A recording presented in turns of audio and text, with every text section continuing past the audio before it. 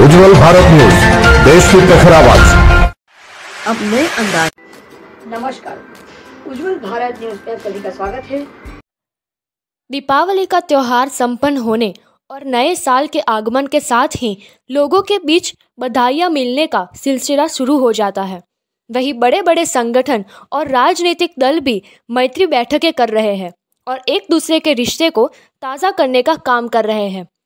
भारतीय जनता द्वारा हर साल की तरह इस साल भी पार्टी द्वारा इस वर्ष भी प्रत्येक राज्य एवं ज़िले में स्नेह मिलन समारोह का आयोजन किया गया।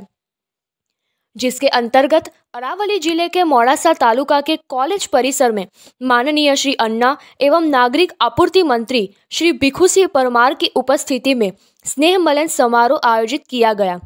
जिसमें विशेष रूप से श्री भिखू सिंह परमार की उपस्थिति से कार्यकर्ताओं का उत्साह बढ़ा। इस मैत्रीपूर्ण बैठक में अरावली जिले के जमीनी स्तर के कार्यकर्ताओं से लेकर भारतीय जनता पार्टी के वरिष्ठ कार्यकर्ताओं तक ने एक एक से मिलकर प्रसन्नता व्यक्त की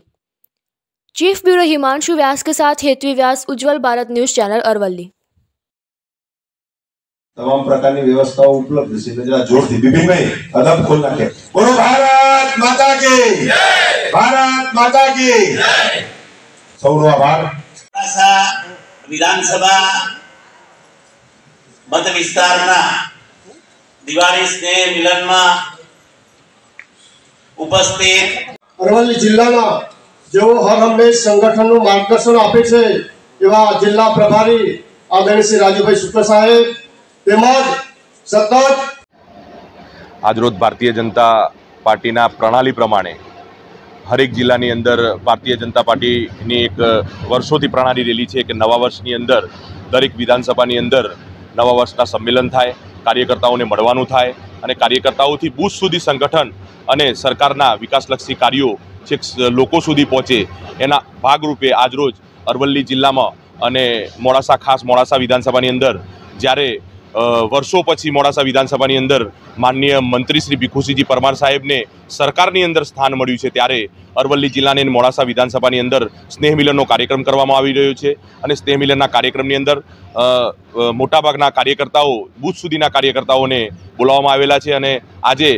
નરેન્દ્ર મોદી સાહેબના વિકાસલક્ષી યોજનાઓ અને વિકાસલક્ષી કાર્યોને છેક અવિરતપણે બે હજાર ચોવીસની અંદર ભગવો લહેરાય અને મોદી સાહેબનું નેતૃત્વ ફરીથી એક વખત ભારતના દેશને મળે એ પ્રમાણે આજે વિધાનસભાની અંદર સંમેલનનું આયોજન કરવામાં આવેલું છે. હું પોતે અમીશ પટેલ, અરવલ્લી જિલ્લા યુવા મોરચાની ભારતીય જનતા પાર્ટીની જવાબદારી નિભાવી રહ્યો છું. હું પણ એક કાર્યકર્તા બનીને આજે સ્નેહ મિલનના કાર્યક્રમની અંદર આવી, આવ્યો છું. એ રીતે લાખો કાર્યકર્તાઓ દરેક વિધાનસભાની અંદર સ્નેહ મિલનના કાર્યક્રમોની અંદર ભાગરૂપ, ભાગ ભાગ લઈ રહ્યા છે. એટલે આ વિધાનસભાના સંમેલન ઉપરથી જ